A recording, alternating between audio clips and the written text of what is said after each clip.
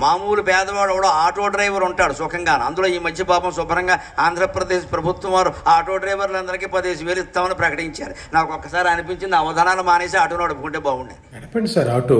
నడపండి. ఒక వారం నడిపి చూస్తే తెలుస్తుంది కదా మీకు. ఆటో నడపడం తప్పేముంది డిగ్నిటీ ఆఫ్ లేబర్. ట్రై చేసి చూడండి మీరు కూడాను. ఎంతో కష్టపడి అవధానం చేస్తే పదివేలు ఇస్తారో ఎవరో అనుమానం. ఆటో నడిపితే పదివేలు ఇస్తారట నమస్కారం.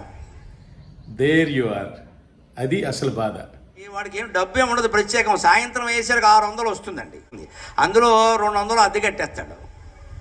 మూడు మూడు వందలు రెండు వందలు అద్దె రెండు వందలు అద్దె కట్టేస్తాడు ఇక మూడు వందలు మరి పెట్రోల్ అది పోయించుకోవాలి కదా వంద నూట యాభై పెట్టి పోయించుకుంటాడు. ఇంకా నూట యాభై ఉంటుంది కదా మనవాడు తక్కువ వాడు కాదు. వంద. గుటకాయ స్వాహ గుటకాయ దన్నమా పీత్వా పీత్వా ఆగళానం పీత్వా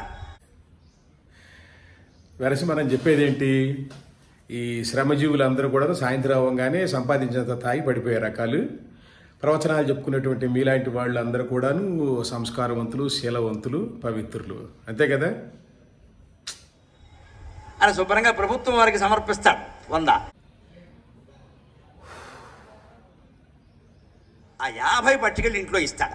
యాభై ఇంట్లో ఇచ్చేది వీడు ఇంట్లో ఇచ్చి చంపేస్తాను పురుషుకు రెండు అంటాడు. వాళ్ళ ఆవిడ మహాపతివ్రత. చెప్పినట్టు వండుతుంది. అంత చంపేస్తాడు?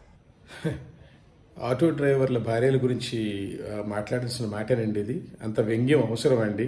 శ్రమజీవుల యొక్క భార్యల గురించి పతివ్రతలు అది ఇదని మాట్లాడటం.